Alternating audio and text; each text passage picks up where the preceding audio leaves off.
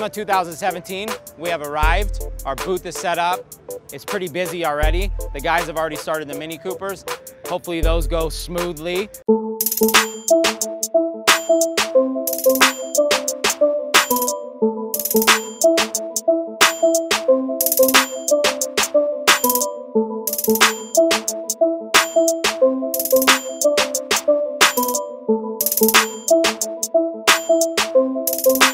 So we were uh, planning our whole booth outside. We realized that West Coast Customs is going to be right next to us. We thought, hey, we should get talking here. They happen to have a relationship with our corporate partner, Continental. So we all got together and we said, hey, how can we make something happen? Yo, Ryan, what's up? Welcome to SEMA. What's going Uh, on, brother? How you doing, Good man? to see you. Good Great. to see you. How you doing, man? See you. I'm glad this all came together. Yeah, finally. right. Yeah, I love it. uh, Looks great. Yeah, so you remember this car?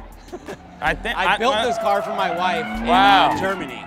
So I figured we had to have it since we partnered with Mini this Gotta year. It's like, it, We yeah. gotta It's bring our Mini. See where we came from, yeah. Exactly. Yeah, so it's the first time Mini's partnered with West Coast Customs, and I think the great part is Mini historically has been a brand known for customization and personalization, and so is West Coast Customs. And, and what better place than SEMA to bring the two together? So we're looking forward to a good partnership. So the cars are here. Oh, nice. So the Yeah. way we're doing it this year is is you know I wanted to build the cars live for the for you know the fans and everybody that comes Yeah, this yeah. booth because we get so many people that come through here, and I broke it down. All right, so behind us, I did the renderings Oh, with nice, the parts yeah. broken down, so the fans and and you know Awesome. hopefully future customers can see we're building these cars that are going to look you know finished at the end of the show Nice. using official Mini parts. Yeah, I think that was the coolest part, you know, like Mini is a brand known for customization. You guys are a world-renowned customizer. Bring the two together and Makes you know, we'll make magic. Yeah. Exactly, and, and we themed them. So you know, we, we wanted to make each Yeah. one different. We kind of went with with the you know outdoorsy kind of vibe on that one. Yeah.